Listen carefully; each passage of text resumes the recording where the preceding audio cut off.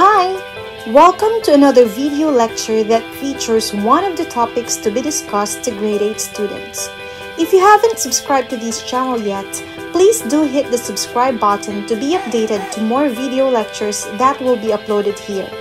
In this video lecture, I will share with you the lesson Visual Verbal Relationships which can be found in the learner's material for English 8. All rightful credits go to the writers of the material, its content, and examples. Are you familiar with infographics? Infographics are collections of imagery, charts, and minimal text that give easy to understand overview of topics. Look at these examples of infographics. See this infographic containing details of the 2019 national budget. Let us analyze its content by answering these questions. Get ready to comment and write your answers in the comment section. Shall we start? First, how much was the total amount of the 2019 national budget? Can you easily identify the data? Let's see. If your answer is 3.662 trillion pesos, then you are correct. It is shown right here. Next, was the 2019 national budget higher as compared to the budget for the preceding year, which is 2018? Write yes or no in the comment section. Okay, did you write yes? Then you are correct because 2019 national budget is 10.1% higher than its 2018 cash equivalent and you can see it right here. Another which sector had the highest allocation as per budget dimension?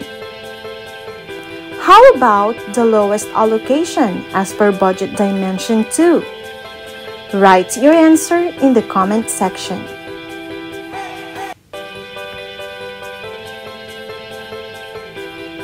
Did you easily see the data from the infographic?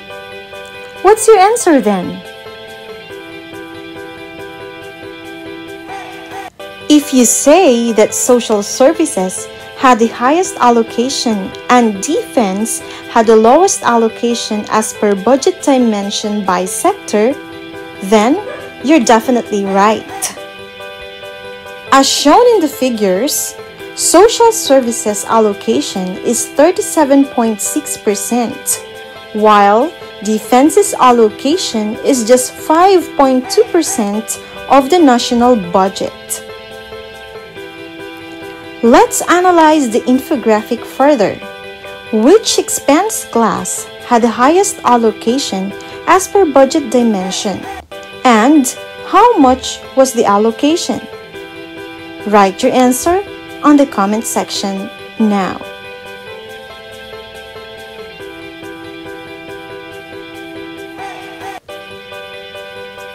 Did you write maintenance and other operating expenses? with budget allocation as 1,410.9 billion? Great! That's right! This time, which expense class had the lowest allocation as per budget dimension and how much was the allocation? Write your answers in the comment section.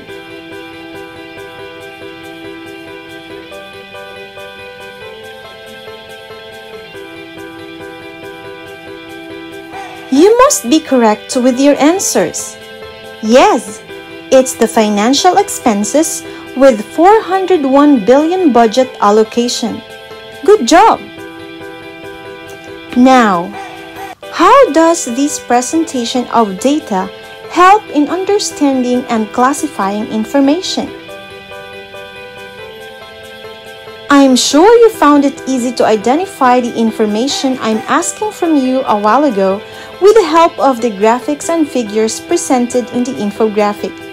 The use of these visuals helps in understanding data or information. Without reading much the text, one may easily identify and classify the given information through visual presentations such as graphs and tables.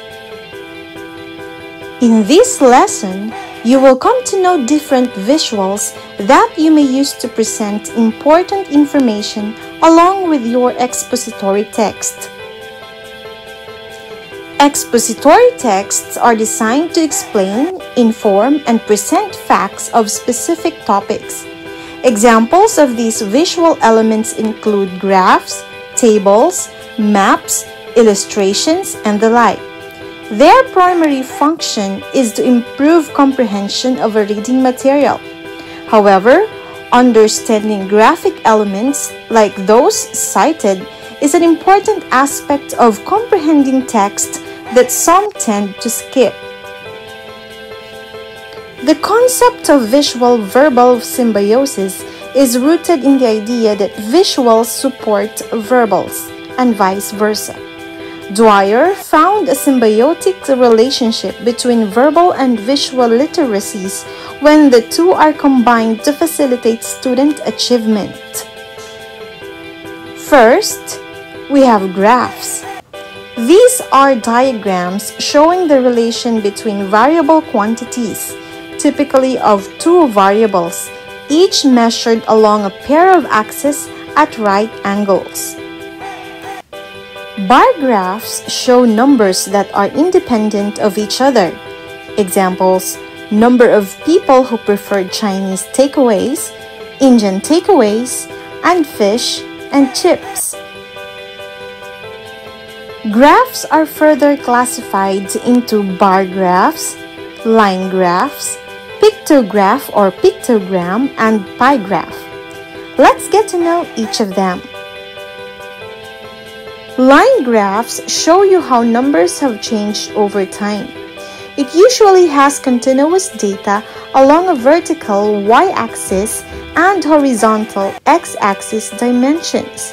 The y-axis usually shows the value of whatever variable being measured. The x-axis commonly presents when it was measured, either chronologically or based on other independent variables. A pictograph or pictogram is a special type of bar graph. Instead of using an axis with numbers, it uses pictures to represent a particular number of items. A pie graph or pie chart shows you how a whole number is divided into different parts. Example, showing how a budget had been spent on different items in a particular year. Next, we have tables.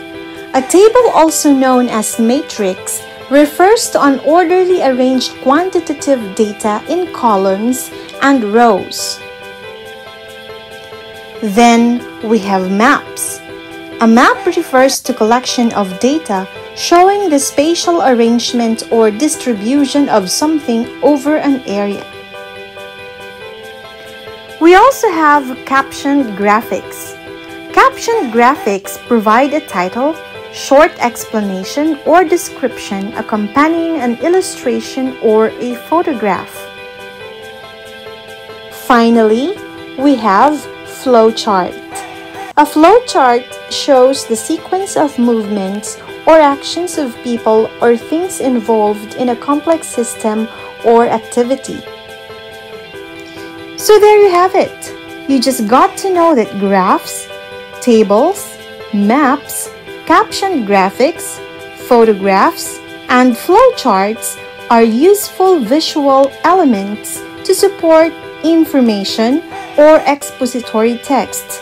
So next time, instead of simply writing factual details, you may want to add any of these useful visual presentations so your readers may understand better the information.